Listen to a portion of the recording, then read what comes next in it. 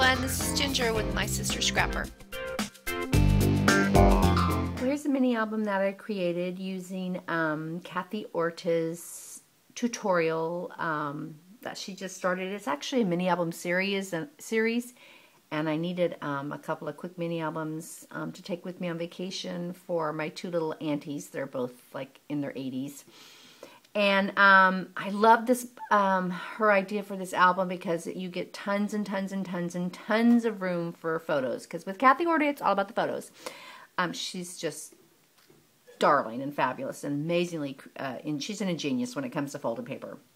But this mini album uses um, cards and envelopes. And again, she has a tutorial um, series, and I'll put the link in the description to that, um, to the first series, then you'll be able to see the rest of them. So here's the cover. Um, the paper that I use is from K & Company. It's um, the watercolor collection. Um, I stamped this little image here. This is Share the Moments That Bring You Joy. And then I kind of use the torn wallpaper look um, for the edges and distressed with um, vintage photo. I have some Prima flowers here and here and here, and I glimmer misted them with um, iridescent gold, glimmer mist. I put some little tulle here and I made a little stick pin with this Maya Road stick pin with a butterfly on it. Added some little punch leaves with my Martha Stewart rose leaf punch and I have some really pretty lace trim and some um, flat back pearls. And on the binding I added this little um, floral trim right here to the um, this the binding edge. So I have a little um, the Girls' Paperie charm here with a little clock on. It has a little pink, pink bling. And then I tied it with some um, seam binding. So this just unties like this for the closure. And you open it up.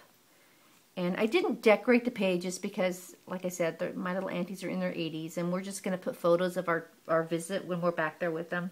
Um, and just have take pictures, lots of pictures, and have them printed up, and then just put the photos on. So that's why nothing's decorated because it would just be too overwhelming for them.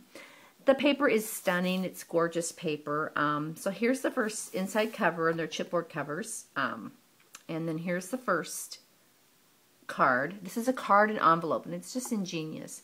Um, again, I just use the paper here. And then the nice thing about this is that you can put one, two, three, four photos on the card.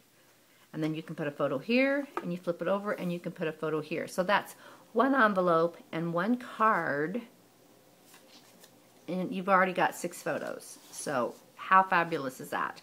And then this is a little insert that Kathy shows you how to make as well, um, that you attach to a flap on the envelope. And it's got a place for a really nice um, photo here, and then there's a photo mat here, and then um, there's a photo mat in here. And I left the backs of them, some of the photo mats plain, just so we can write some little notes to our auntie um, on the back of that, right there. And then um, what she did on her in the tutorial is she added like a little uh, trim piece here that you use a decorative edge punch and then you fold it over and then um, you can, as a place for another tag, but I just eliminated that step and um, left it plain. So then you flip it over and you have another spot for photo here. So right here you've got a place for six photos, seven, eight, nine, ten photos just in one section. And there's three sections. So here's the green section. I tried to keep them kind of coordinated so, so the colors are kind of going together. And this paper is gorgeous um, from K & Company. It's called Watercolor. It's darling. Love it. And it just flips, keeps flipping like this. And then here's the insert with the photo mats and the journaling. There's lots of glitter and, oh, gorgeous paper. Love it, love it, love it, love it, love it. So you make three sets of these little um, inserts, and then you use six envelopes and six um, cards.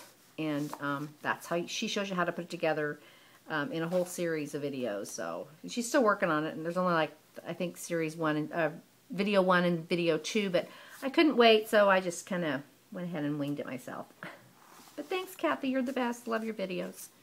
So there's that page, and then it just goes on and on forever. So they will love it. They will have so much fun putting these photos on here. And then the last purple page. Love the glitter paper. And then there's the back. And then I just put my little stamp here, handmade by Ginger, and then I covered up my little seam here with a little piece of um, satin trim. So that's the mini album. I did make two. I'll uh, show you the other one on my next video. But there you have it, everybody. That's my little uh, mini album that I'm going to take to my little auntie who's in her 80s. Um, me and my sisters, we're going to go back and visit her, so I'm going to take lots of pictures, so I think she'll really like this. So there you have it, everybody. Thanks for watching. Have a great day. Bye.